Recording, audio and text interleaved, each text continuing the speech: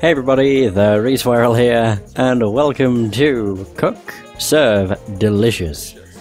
This is a game I can quite um, easily say I never thought I'd be doing, but recently I had an urge to play this game, and so I'm going to record it because it's actually a really fun game, so here goes. Press enter to begin after I make the action, there we go, window disappear, enter.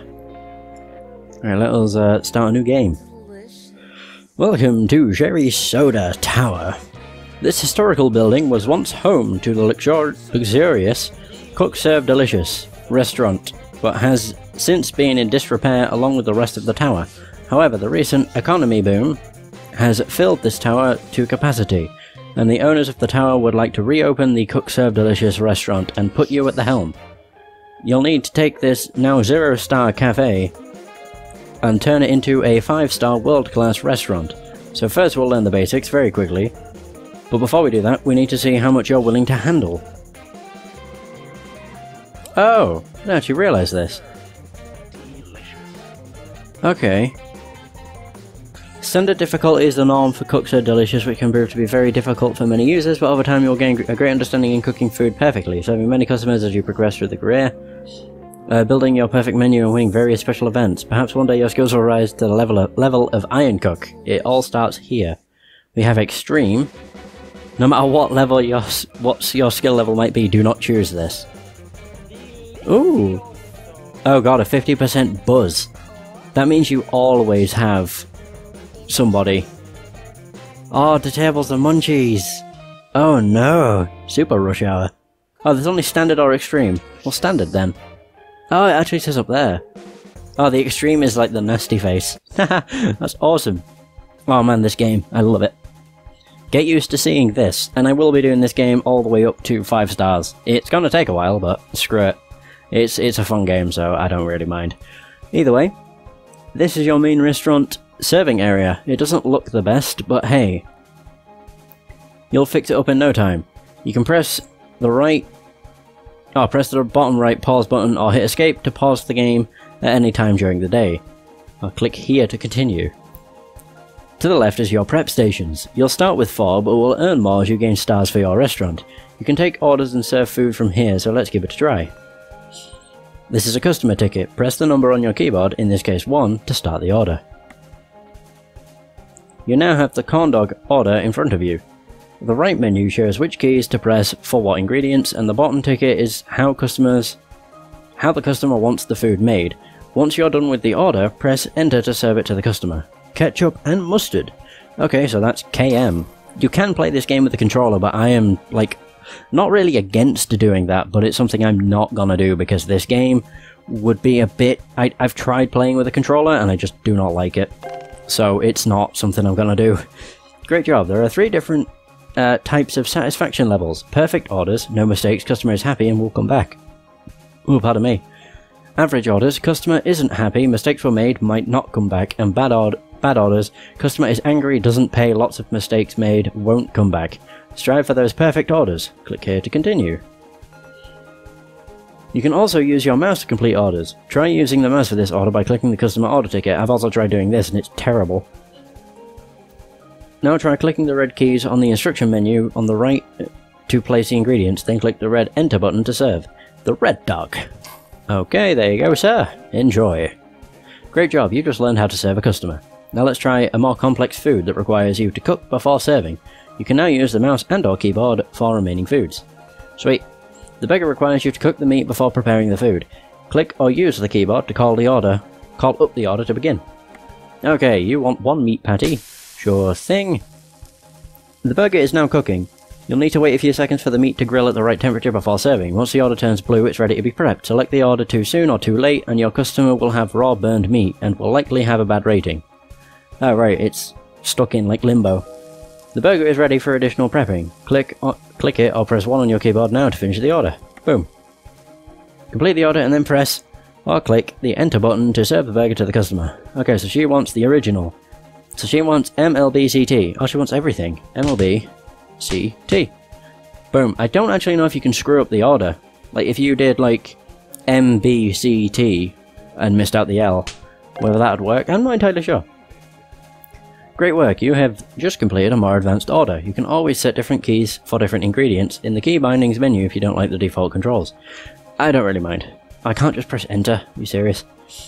There are two types of order that you'll find in Cook Serve Delicious. When an order is highlighted blue after cooking, it will require additional prep work. When an order is highlighted yellow, it requires no more prep work and is ready to be served to the customer. Simply select it to serve immediately. So there's raw, cooked, prep, cooked, serve, and burnt. So, needs more time to cook. Food is fully cooked and ready for additional prep. Food is fully cooked and ready to be served immediately to the customer. You did not prep or serve this food in time. It will likely be a bad order. oh no. Uh, you can only prepare one order at a time, however, you can serve yellow cooked serve orders to customers immediately even when preparing a different order. Simply press the number slash click the order to serve at any time. Yeah, that is a very useful feature. Customers won't wait around forever to have their food order taken. You'll notice that this food is slowly disappearing from the screen. If it goes away completely, the customer will leave angrily and will cause bad buzz for your restaurant. There are ways of extending customer patience via the equipment menu, which will be unlocked later in the game, such as like munchies or something like that. There are also chores to contend with, but that's enough tutorials for now. You can always select Practice Chores in the tutorials menu to try out all of the chores you'll need to complete daily. That's like um, cleaning out the toilet, throwing out the trash, cleaning dishes, setting mouse traps, and I think that's it actually. Uh, yeah, I think that is it actually. And with that, you've just learned the basics of cooking and serving. Great job. Now let's dive into the managing part of Cook Serve Delicious, which is vital in ensuring customers are always flowing into your restaurant. Hooray! Oh god. Now we have this. Oh yeah, we start with seven and a half grand. Sweet. This is your main managing menu. Uh, from here, you can control your food menu, buy new items, and a whole lot more. You'll work from 9am to 10pm at the restaurant, then between each day, you'll come back to this menu to plan out your business. Oh, next page. First, we'll need to buy some food to put on our menu. Uh, you have a starting budget that should allow you to purchase three or five, three to five foods out of the initial 20 that's offered. You can do that via the buy slash, uh, view slash buy foods menu. You'll notice a few foods require a piece of equipment before you can buy them.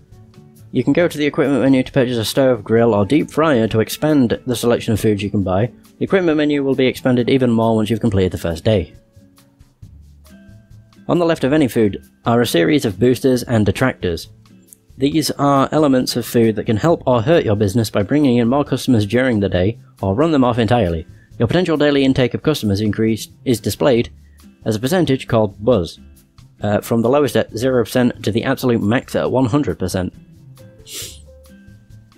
Oh wow, that's a lot of buzz. Jesus. Alright.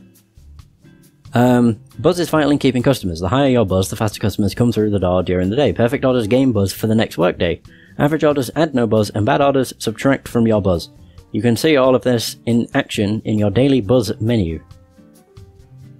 Once you've bought foods, you'll need to add them to the active menu. The active menu is a menu board where your customers will be able to order from during the day. You can serve up to 6 different foods per day. Must plan out your menu each day to balance out which foods gain the most buzz and which combinations work best. Some foods, boosters and detractors, only allow you to serve them for two straight days before causing bad buzz, as customers always crave new items. Some foods stay fresh forever, like salads. There, that's what the staple means, it's a staple food. Uh, and those are the basics of Cook Serve Delicious. Um, once the opportunities open up, you'll get some helpful emails, so go visit your main menu to check out and check out your email client. Buy some food and equipment and get prepped for your first big day. Good luck! Holy hell, that was one a, a lot of reading. So we have good luck on your opening day. Okay, I just wanted to congratulate you on your opening day. It always feels so overwhelming, doesn't it? Um, I know that you have the chops to run a successful business, and hopefully our paths will cross sometime in the future. Drop by the Iron, Iron Chef studio sometime and I can get you some audience tickets. Good luck, Chef Risotto. 11 star Iron Chef. Oh god, welcome to the Sherry Studio. Uh, email client. This is a quick guide. Oh Jesus, to using the service, the icon on the left on the main menu is new mail on top, which lets you glance at all the new mail, red mail, all mail opened is automatically sent to this folder, and favorites. You can save up to 15 emails by clicking on the heart or clicking the heart on the left. Click any of the email icons to move around the client. There are several different colours of email which signify importance. You have yellow emails, very important information, green emails, opportunities and special events, and white emails from other ST Tower, or SS Tower, uh, users, some of which can be filtered by buying the spam filter in the equipment menu. Thank you. Thanks for using Sherry Soda Tower email. And then we have patch notes, which don't even matter. Whoa! Added some improvements. Steam controller and DualShock 3 mapping. Whoa! and then we have an advertisement for Cook Serve Delicious 2. Of course, of course, of course. Right, let's have a look at some foods now, shall we? Wait, oh wait, the ones that have got a little a little thing next to them means I don't have the equipment necessary. Yeah, I need a fryer, which I don't have. Customers never tip with this food. Ooh. I don't know what they're called anyway, sopapillas? So, so, so, sopa? I don't know. That's a staple food. It's a grand as well. That's a grand as well. Ooh. Salad is a grand. Right, so that's three. So that's three fifty. I fucking. Hmm. I'd, in all fairness, I'd like to buy as many staple foods as possible.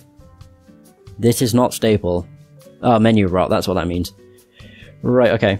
The fish is also menu rot. This one's really bad for detractors, although it is attract certain VIPs.